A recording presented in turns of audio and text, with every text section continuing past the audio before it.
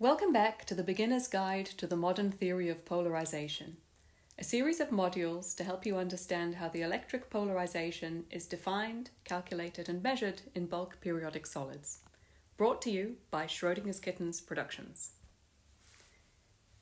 In Module 1, we reviewed the electric dipole moment of an isolated molecule and concluded that it's a well defined quantity, at least in the case that the molecule is not charged.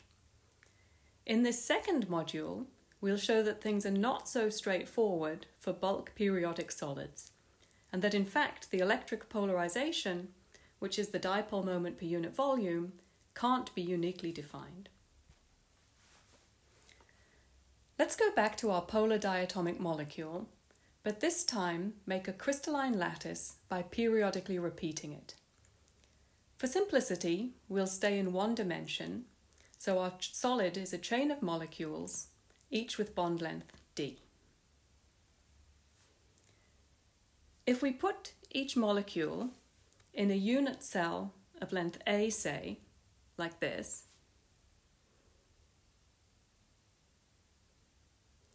then we can immediately write down the polarization, which, since we're in one dimension, we'll take to be the dipole moment per unit length instead of the dipole moment per unit volume. And it's equal to Q times D divided by A. So nothing unusual so far. But what if instead of defining the unit cell, so that each unit cell contains one of our original molecules, instead we define it like this?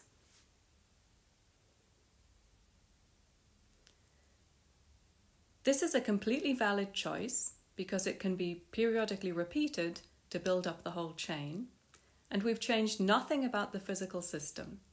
The chain still consists of alternating anions and cations with a distance of d between the nearest neighbours.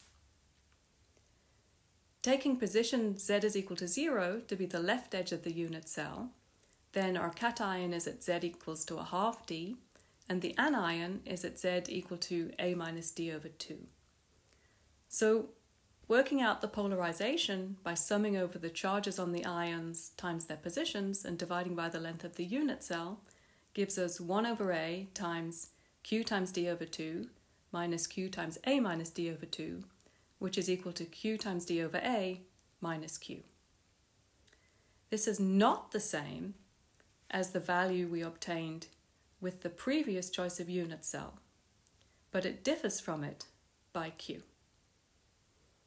And in fact, if we repeated this procedure, choosing different unit cells each time, we would obtain many different values for the polarization, all of which could be written as QD over A plus some negative or positive integer times Q. You can give it a try to convince yourself remembering that your unit cell can include any pair of anions and cations that can be periodically repeated to build up the chain, not necessarily only those that are next to each other. Now, if that wasn't bad enough, I'm afraid that things are going to get worse before they get better. Let's take a look at this one dimensional crystal lattice in which the anions and the cations are evenly spaced. Both the anions and the cations are centers of inversion. And so, by definition, the lattice is nonpolar. But if we work out the dipole moment per unit length, recognizing that the spacing between all pairs of atoms is now a over 2, we get that P is equal to 1 over A times minus A over 4 times Q plus 3 over 3A over 4 times Q, which equals Q over 2 for this unit cell.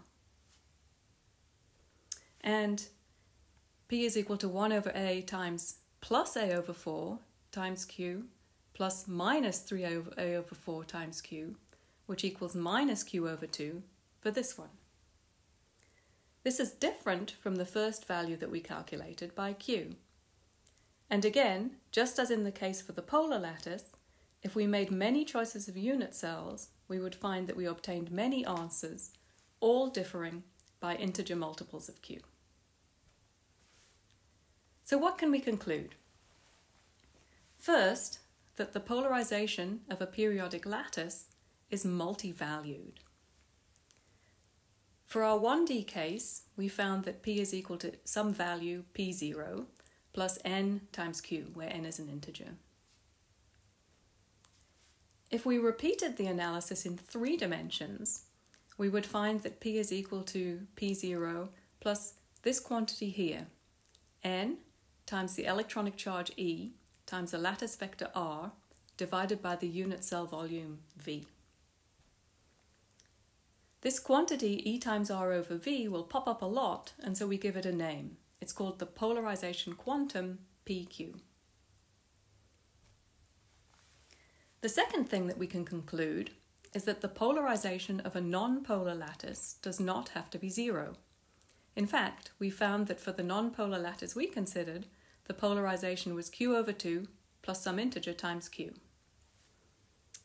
And if we repeated our analysis for the nonpolar lattice in three dimensions, we would obtain polarization values equal to pq over 2 plus n times the polarization quantum.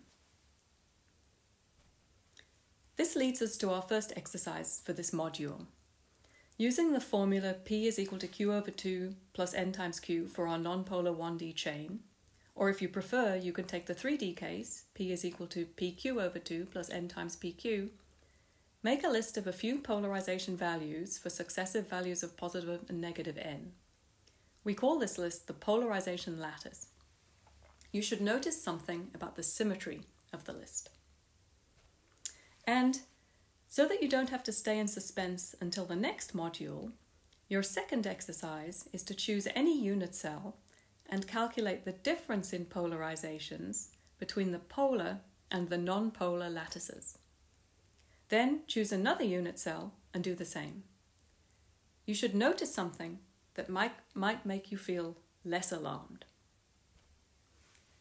When you're happy with your answers, come back and join us for Module 3 in the series, when we'll look in more detail at this strange polarization quantum to understand why it exists and what it means. Thanks for listening.